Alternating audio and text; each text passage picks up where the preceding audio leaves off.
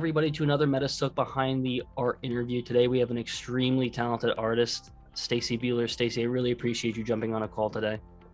Of course. Thanks so much for having me.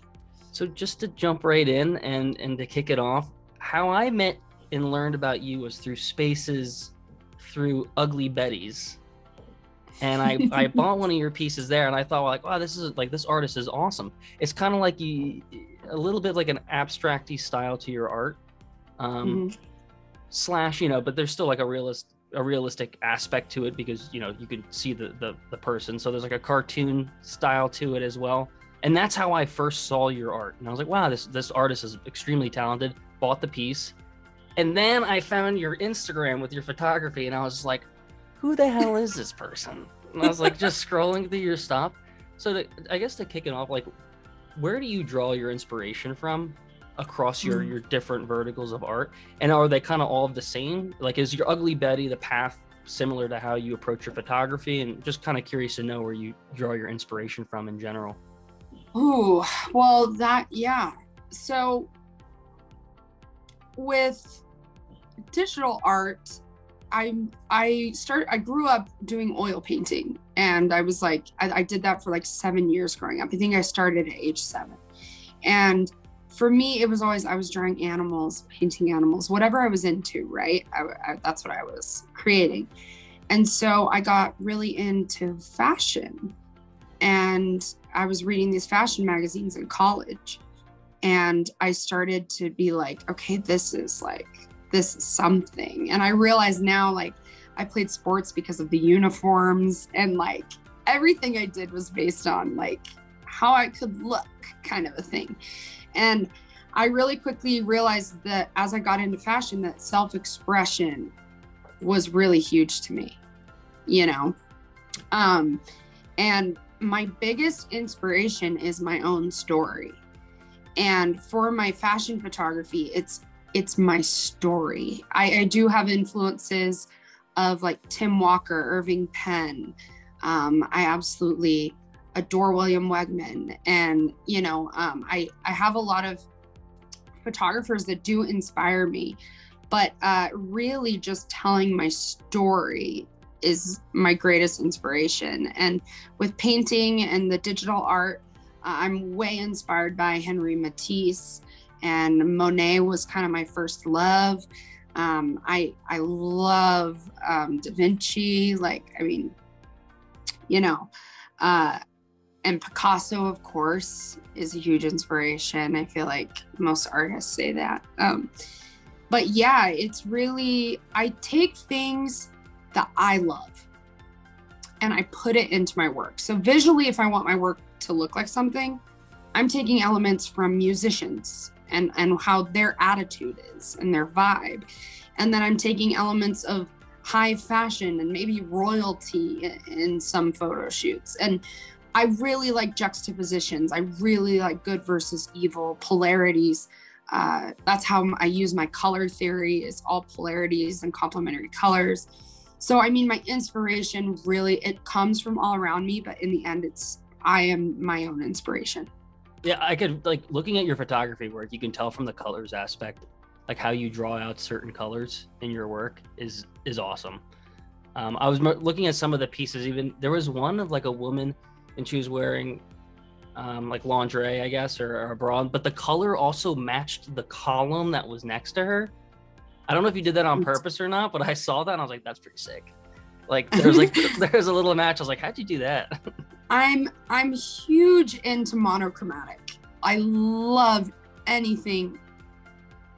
Give me all blue tones. Give me all red tones. Give me, you know, I love that shit. I'm all about it. Is there a um I mean, looking at the photography specifically, or even you know, Ugly Betty's, Ugly Bert's, and that work that you you've done, is there a piece Mhm. that you're most proud of across all of them? Is there one that stands out? It's like that's the one that's like that one means a lot to me. Yeah. So there is this image I took in Iceland in 2016, I believe, something like that. It's like right when I started fashion photography. And so my grandmother got really sick, you know, like started declining very fast. And I like had what was my last conversation with her. Um, I didn't know it would be, you know, we didn't really know, but we knew she was like going downhill. So I had this conversation where my grandma just called me over. She barely speak and was like, "I love you," and that's all she said was just, "I love you, Stacie." And so I go to Iceland, and it's me, my best friend, assisting me, a makeup artist, and a model. We go to Iceland for ten days. On like day seven, we're driving through the most beautiful. It was the most beautiful part of the drive. And I get a phone call from my mother and my grandma had passed away. And I just got this feeling of just like, just an overwhelming feeling because me and my Nana were very, very close. And um, I just, as we were driving, I could just feel her spirit. And we were driving on our way to our next photo location. So the very next image I took is my favorite image I've ever taken. And I planned it out meticulous meticulously is that the correct word um it was planned it was so planned uh before i went there it was at this certain lighthouse wearing this certain outfit and i knew exactly what i wanted her to do um so it wasn't one of those things where i created on the fly but it's this image and she's standing in front of the door of the lighthouse and it's an orange lighthouse and it's just vast. You know it's like that's the only thing out there is this little lighthouse. And she's wearing an orange outfit so monochromatic again. It looks like it's out of a wes anderson film. And i just remember the way i felt when i photographed it made it my favorite image. Like i don't think i could have taken any image right then and that probably would have been my favorite image. But uh, this one ended up being it.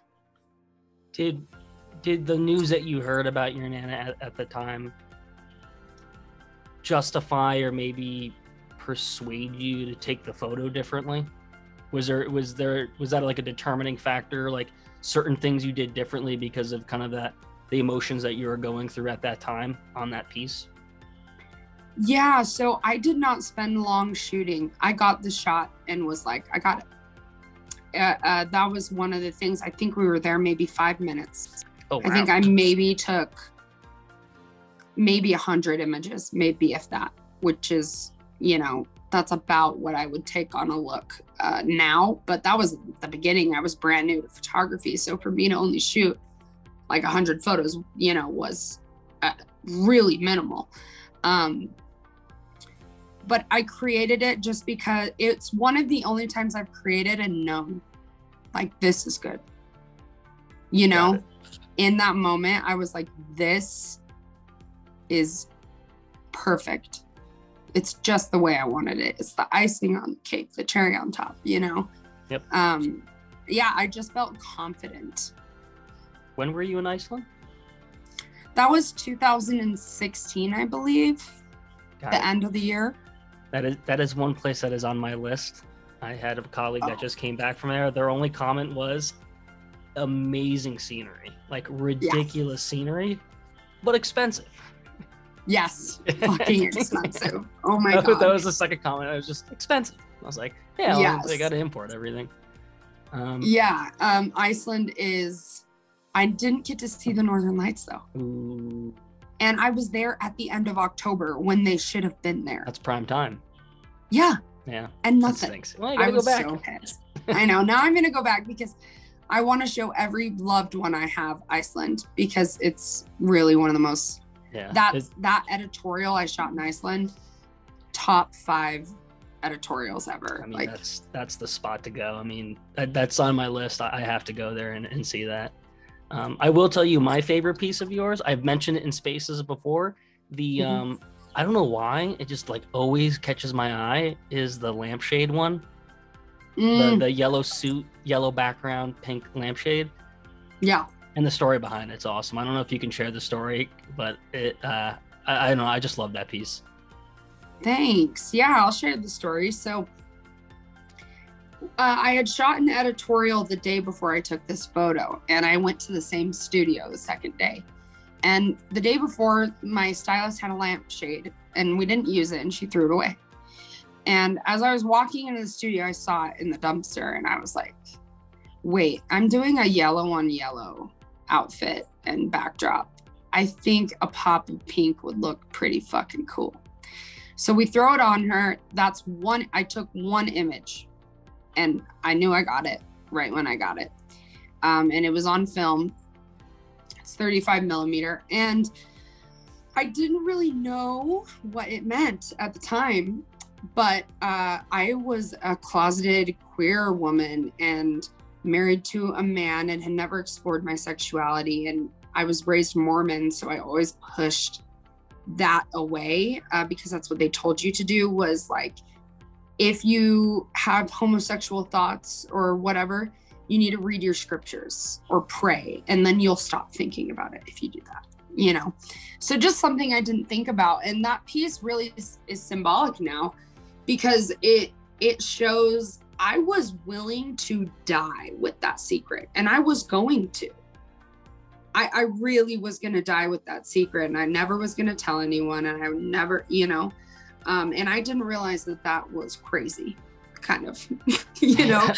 um, and I, the whole lampshade thing becomes this, that image is iconic and it's so symbolic of exactly who I was at that time, which is someone who wanted to be bright, who wanted to be out there, who wanted to be themselves and and literally hid who they were to fit social norms or standards in my case it was mormonism and i created that at, at about the time that i was leaving mormonism and uh, very very eye-opening now when i see that image and think about the person i was going to be you know and then you find out who you are Yeah. so yeah Oh, definitely. I mean, it's a beautiful piece and it has an awesome story, like a beautiful story behind it. So, I mean, it just makes me like it even more. It's just like one of those pieces that you just like stop and you just like stare at it for a while, just to kind of wrap your head around it. Also, who would throw out such a nice looking lampshade? dude it's like i have no idea That- I, a- it's a nice lampshade It, I mean, to me, it looks like a ni- oh, that's a nice lampshade. Like I i, wouldn't just throw that in the maybe garbage. pink isn't maybe pink hot pink isn't everyone's Yeah, I get it. I can understand it. interior might- design style might not meet the room, but you don't throw that away. Give that to somebody who needs it for their apartment where pink works. yeah absolutely Um, so on the photography side, and, and a good friend of mine, and, and uh, who I've done business with in the past, um, has been in photography like his entire life. So I always always love to ask kind of the specifics around. Is there a favorite camera that you love? What's your favorite lens setup? Do you have kind of like your go-to? I know with kind of your fashion shooting, it's a little bit different than like real estate lenses, which kind of more go for a wider shot. Um, Mm. what's your setup? What's your favorite lens that, and, and and kind of style that you usually go with? Yeah. Um, ooh, I love this question. I love talking about this. Um, my favorite camera is a 35 millimeter film camera. It's Canon EOS 1V. Uh, it's actually like the last film camera that Canon had made. Um, and it's a sports camera. So super quick shutter. And Okay. that's why I like it, is because like I told you, I don't take very many photos and I take them quick. Yep. And uh, I don't like to stop with film. I still want to catch the model in a candid moment. So Um, I, I shoot with that camera, and it's my favorite lens that I shoot on that camera is a 14 to 40 millimeter lens, super wide angle. But you can also, you know, crop in, get a little bit of that almost 50 millimeter. Yep. Um, and then on my digital camera, I'm shooting a Sony with a 16 to 35 millimeter. And that's, I, I shoot exclusively on those two lenses and those two cameras. I do like experiment with medium format and, you know, Polaroid. And I have a land camera that I really love, but they stopped making film Gotcha. for the F100, you know. Um, so yeah, those are my two my go-tos. Uh, if I could shoot film exclusively, I would, but as a fashion photographer, you got to have backups, you know, just in case. Yeah, no, definitely. And especially, I mean, with at least for my buddy, like his work, uh, you know, you have your go-to lenses and setup that you become just a master with, and, and you just know how to work them. And you yeah, just it's like an it. extension, Yeah. right?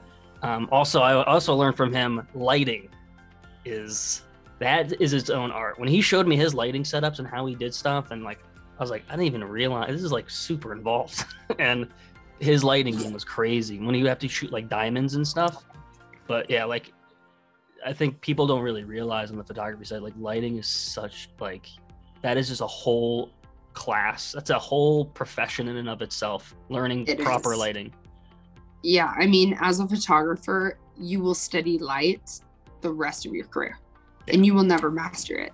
You can you can become close to mastering light, but there is no way you can really learn enough about light. You know, um, in training your eye how to see light, and then how to be creative and untrain your eye. You know, um, for me, I shoot on I shoot constant lights uh, because I switch between film and digital. So um, most of the time I'm using uh, in a small studio like a, a Godox SL 200 watt or something. Um, and I love constant lighting. I love daylight. I love that soft, soft, romantic. But then I also love the harsh flash. I love a good flash, just a top camera flash, like you're going out at night shooting at the club or something. I love that vibe. I think it's so badass. So those are probably my, my two most common would be a really harsh light and then a really, really soft, misty kind of light. Are you, are you all about that golden hour? That that time where you get like that nice No, actually, no. Um, Okay. I pretty much, well, the, here's why I don't like golden hour. Okay. I started out in wedding photography, and it's all if people talk about is golden hour, golden hour, Yeah. golden hour, golden hour. I, that's literally me right now. Hey, golden hour. no, but in wedding photography specifically, like you have a client be like, "Are we shooting at golden hour?" Oh god. like, "Sure, Like, if mm. you want to." yeah. um no but uh i do like morning sunrise Okay. I, i'm not so much an evening but like get get it like right before the sun comes up like just right barely before the sun comes over the mountain you know that Oh, is a beautiful morning mist like That- anything romantic or badass it's like a it's like a mix between the two That is it's funny you bring that up. I did some drone footage in Brazil when I lived there for some surfers, and that was the perfect time. Like right before the sun, you see it pop popping up. You just get this like dusky look. You get all like just the pickup that you get is it's Mm-hmm. insane. Like nothing beats that. That is literally you, the only Yeah. thing is you got to wake up early for it. If you're not a morning person, you're not getting it. But yeah, if you get a shot like that in that environment, it's it's so cool. Yeah, I, I love it. It's like that to me, they should call it magic hour or something or magic 15 minutes, magic Yeah. minute, because Yeah, you literally you have like yeah. 10 minutes. Yeah, you you have no time. Yeah, Um, sure. Awesome. So you mentioned before you actually started in painting, then you went to photography. So I guess what Mhm. made you go back from photography? Technically, I mean, you went back to painting with the the Ugly Betty series and Ugly Berts. Um, Yeah. So what made you like what what made you dive back into it? Well, in 2019, I took a month off of photography because I just, I was on a, a med- medical medicine induced bipolar mania for eight years. And uh, so basically that means nonstop talking, no sleeping. I think I'm God. I get 10 times the amount done that I could normally get done, right? Um, and I, I, I thought I was always functioning at 80%. And then I took a month off of photography and I was like, holy shit, I have been sprinting for the past seven years of my life. You know, I I did not realize how fast I was moving. Like in one year, I had thir- over 35 editorials published. That means I was shooting an editorial every other week. Like I don't know how I did it, to be honest. Yeah. Um, and so when I slowed down, I started drawing, and I I didn't I had nothing to do. You know, I wasn't working, so I was like, what the fuck do I do? And I had an iPad, and I was like, you know what? Let's download an app. Let's see what happens and I start drawing, and my photo manager saw it and was like, These are like really good, you know, like you should do something with this. And then it sat on the back burner. And then I get into NFTs because this girl on Instagram saw my art and she's like, You should sell these as NFTs. And my manager had already been working on an NFT photo project called the Digital Archive. Got it. Okay. Right. And so I knew a few words and I was like, I know the word OpenSea. I'm going to go see what that is. So I signed up for OpenSea, made a Coinbase wallet, and dropped on Ethereum because I knew the word Ethereum. And I dropped photos and I dropped some digital art that I had done in the past. And then my manager like saw that I did that and was like, why didn't you talk to me or ask me questions? like, why did you just go Went behind that? my back. yeah.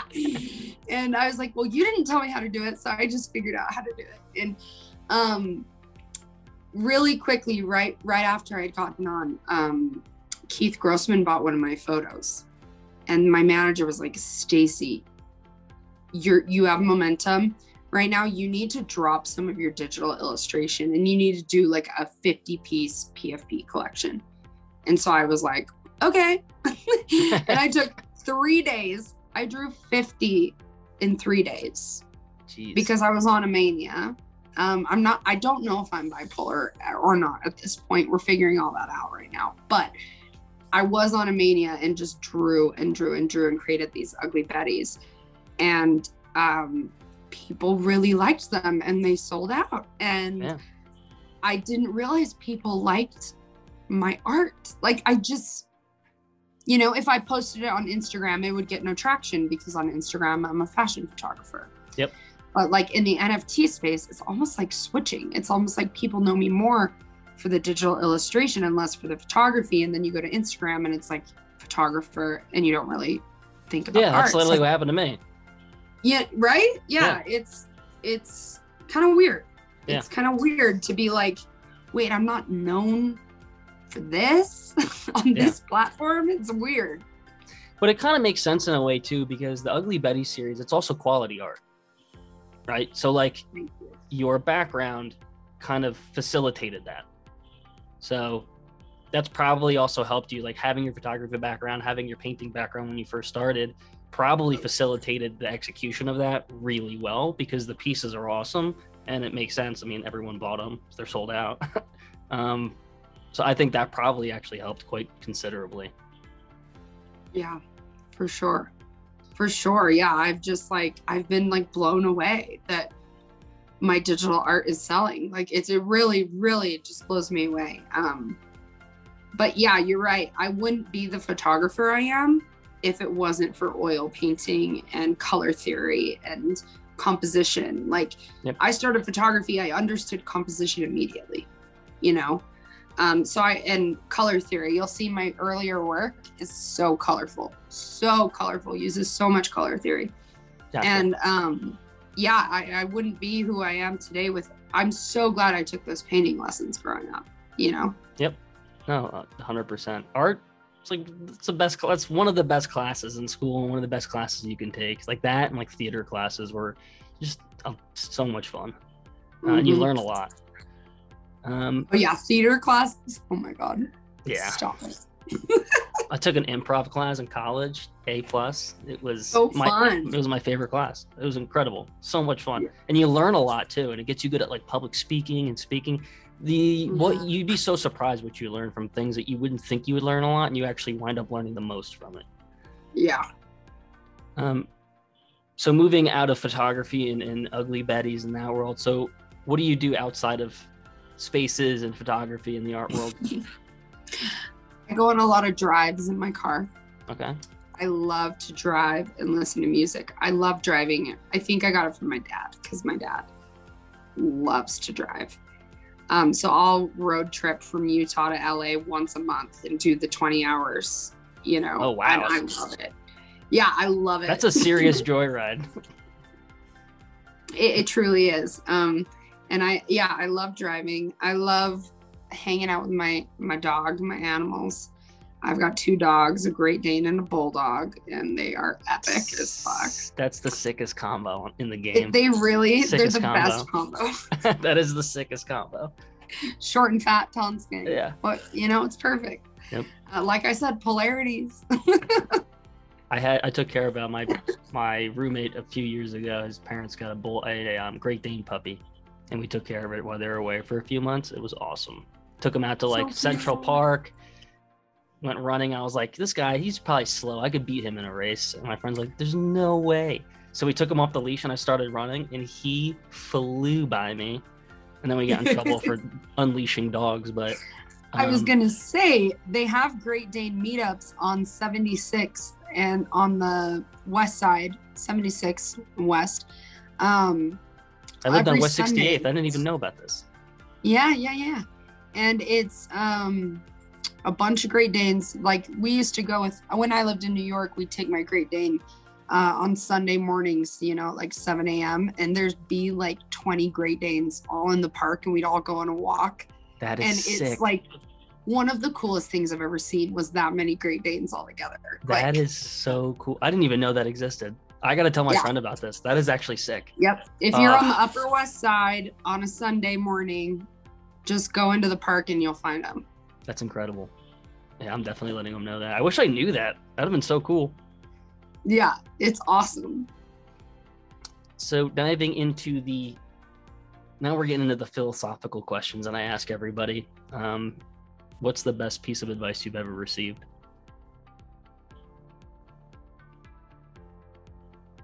Be yourself. I think someone told me that when I was young. Someone gave me this little bottle cap, and it was like a cute, cutesy, like crafty thing. And it just said, You be you. And this woman in my neighborhood came up to me and she said, Stacie, that is you. And I remember it just kind of clicked. And I was like, wait, not everybody is themselves. You know, I didn't realize people could be fake. I didn't realize you could like put on something because I've never been able to do that, you know? So I think it wasn't necessarily advice, but I almost gave myself that advice in that moment and was like, that's the coolest thing about you, Stacie. You know, like I remember thinking that is so cool. And that's the best, that's the advice I would give as well is just be you. What's the worst advice you've ever received? Move to New York City. okay. You want to dive into I, that one? I've been doing photography a year, a year, and I'd been doing weddings for a year. And my business coach said, You want to be a fashion photographer, move to New York City. And that's exactly what I did. I sold at my home. I had a house, like a four bedroom house, sold all my possessions, and I moved to New York. And I struggled. And this was at the beginning of my mental health bullshit, like when I was going insane and had no idea what to do. Yep.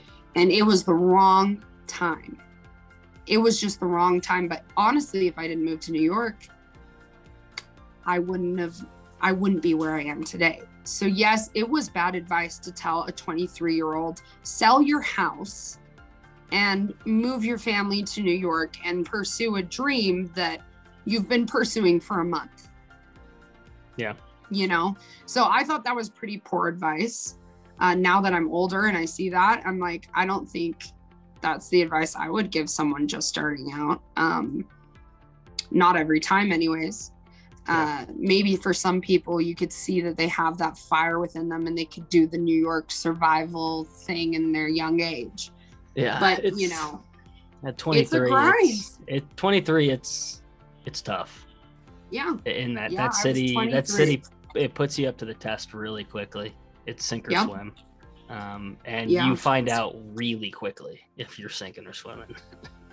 yes, for sure. And like, luckily, I I was able to um, get like a, a few really good jobs that were like really important for my career and it was good that i was there for fashion weeks um, because that's how i've like really built my fashion career is by photographing street style and runway uh, in like milan and paris and new york so that was Okay. also like really nice to be in new york for for that part of my job and i was able to make you know i was able to work with b&h photo and like speak for conferences for them and I was able to work on social campaigns for Gucci and Miu Miu and like all of these brands that I never thought I could work with. They're all in New York. Yep. And so it was actually good advice as Okay. well because it it gave me a resume Yeah, because I was in the network. location. Yeah. Yep. It's incredible. Yeah.